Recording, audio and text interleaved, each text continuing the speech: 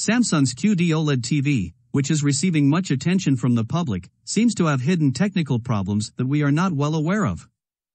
Today's video was a summary of the fact that the structure is quite different from the commonly known QD OLED and that it casts a dark shadow on the direction it should go. Now, let's start the tech trip.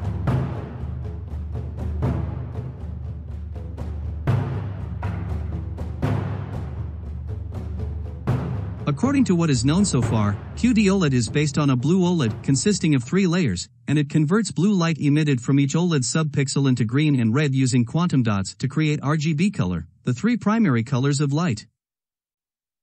White OLED is also based on three-layer OLED, so there are many similarities in the process except that QD OLED forms a separate quantum dot layer and uses only blue OLED. As a result, it was expected that an additional 20% or so of process cost would be added to panel production, and I thought that such an increase in price could be compensated for with relatively superior performance. However, as a few people pointed out in several comments on my video, the rumor that QD OLED was released with a 4-stack structure rather than a 3-stack structure seems to be no longer a secret anymore. And the display-related industry must have disassembled Alienware's QD OLED monitor, which has already been released, and completed the structural analysis of the 4-stack.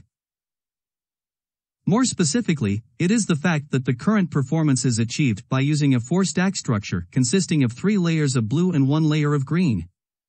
The reason for using the 4-stack is probably the possibility that it was difficult to obtain the desired efficiency with the 3-stack structure, and the method used to remove at least one QD layer including the scattering layer to minimize the decrease in the contrast ratio mentioned in the previous video.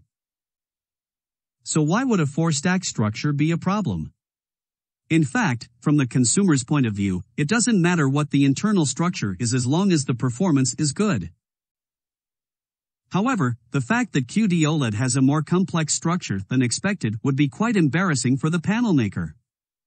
Even if it is not, it will be quite burdensome to have to increase the number of layers again in addition to the process and yield management difficulties coming from the highly difficult top emission format, the process cost and material cost burden of making a separate quantum dot layer.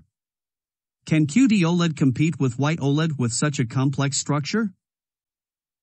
In addition, if the number of layers of OLED in the equipment already given increases by 30% due to the introduction of the four-layer structure, it would be a big burden to have to reduce the annual production by that much. In the meantime, I have devoted a lot of my video to the merits of QD OLED and future development prospects, but the current situation is making me feel strongly that those expectations can be turned back to vague hopes. Conversely, if QD OLED uses the originally known three-layer structure instead of the four-layer structure that is currently used, the lifespan, efficiency, and brightness will be lower than the current level. Even with three layers, the panel production cost is relatively high, but there is no performance advantage? Which consumers will accept it?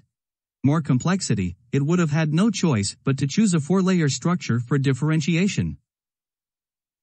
Perhaps this is the reason why Samsung Electronics was reluctant to introduce QD OLED in the beginning and talked about the production volume not being able to cover as much as they wanted. Even if the initial production cost is about 20% higher, it offsets it with excellent performance, and uses the advantages of the front light emitting method to increase the aperture ratio and improve durability, remove the circular polarizer and improve efficiency through the introduction of the pixel define layer applied to the Galaxy S22. However, the current four-stack structure is making the journey feel a bit far-fetched. Above all, it is disappointing that the current situation seems to be that the combination of blue OLED and quantum dot with a three-layer structure did not ensure sufficient performance, so it was inevitable to introduce a green layer. This reality will have no choice but to further solidify the strategy of positioning the Neo QLED that Samsung Electronics wants to set on the top in the future.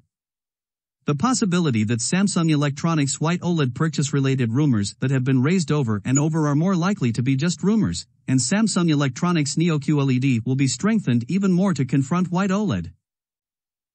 Perhaps internally, not only Samsung Electronics, but also the highest level of the group were clearly aware of this fact, and it is highly likely that the full-scale investment plan for QD OLED announced in the past has been put on hold.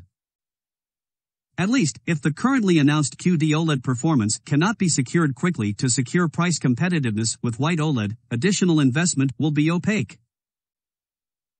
In the next video, we will talk about technical analysis of why Samsung Display had no choice but to go to a four-stack structure.